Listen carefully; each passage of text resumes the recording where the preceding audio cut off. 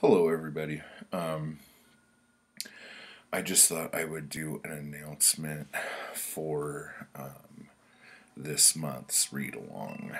Um, and I'm doing it because the video I posted last night um, that was the science and faith and the uh,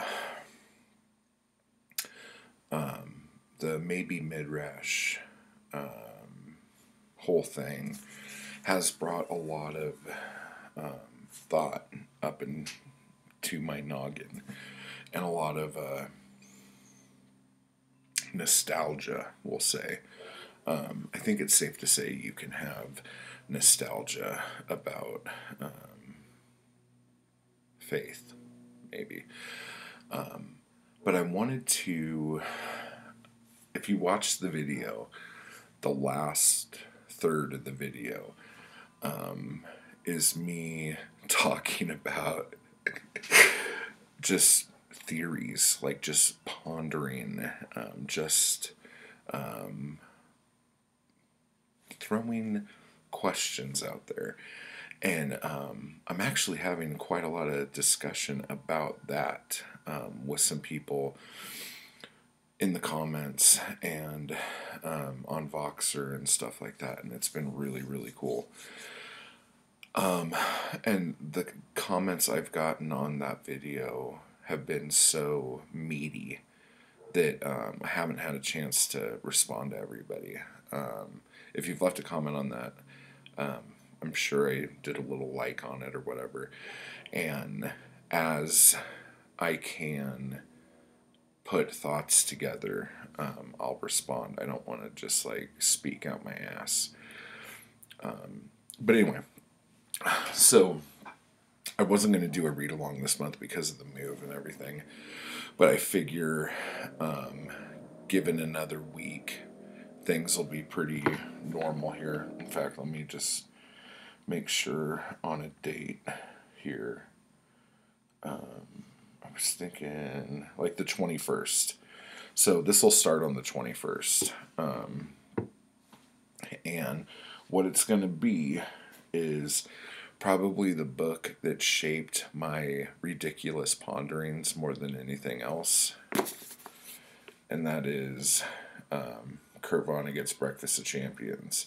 This um, this is my beater copy. Um, this is one of those books that I've had multiple copies of this version and I love it so much and then I'll go, oh, I'll meet somebody. I'm like, oh, you got to read Breakfast Champions. And then I lend it to them and I never get it back, which is fine because um, it just gives me an excuse to go buy another copy of it.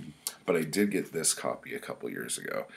Um, I really like this uh, print run of all of Vonnegut's stuff with his uh, drawings on it and stuff. I just think they're gorgeous. This is probably my least favorite cover that they did for all the books, but this is fun.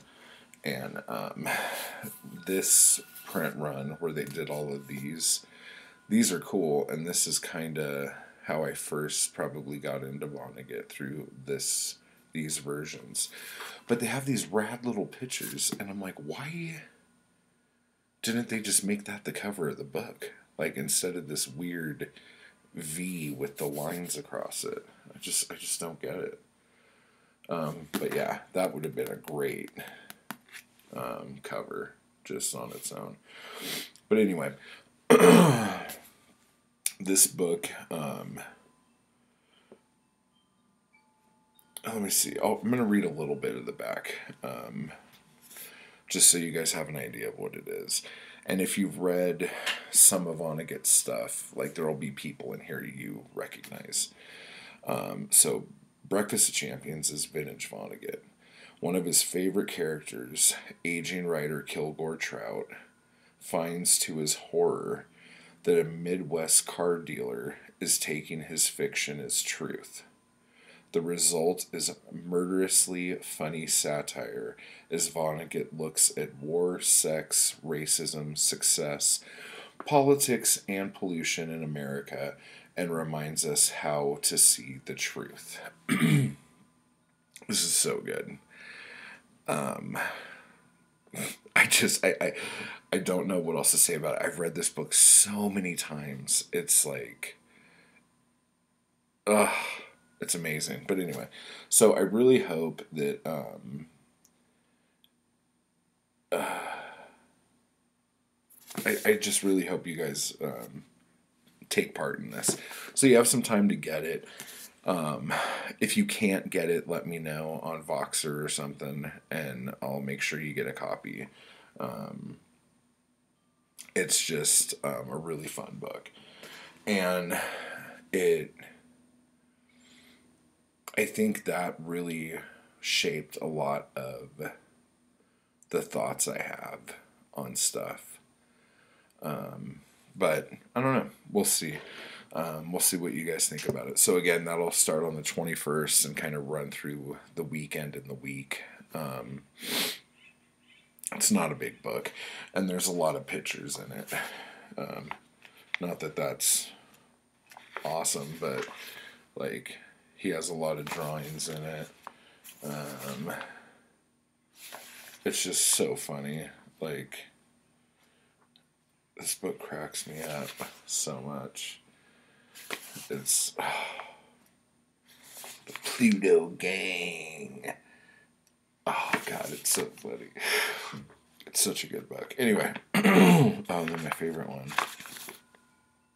Yeah, there you go. So, um, I hope you partake in this. Let me know down below if you're going to do it. Um, it'll be worth it, trust me. So, I will see you later. Bye.